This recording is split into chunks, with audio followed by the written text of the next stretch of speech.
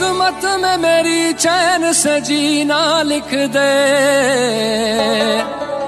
डूबे न कभी मेरा सफीना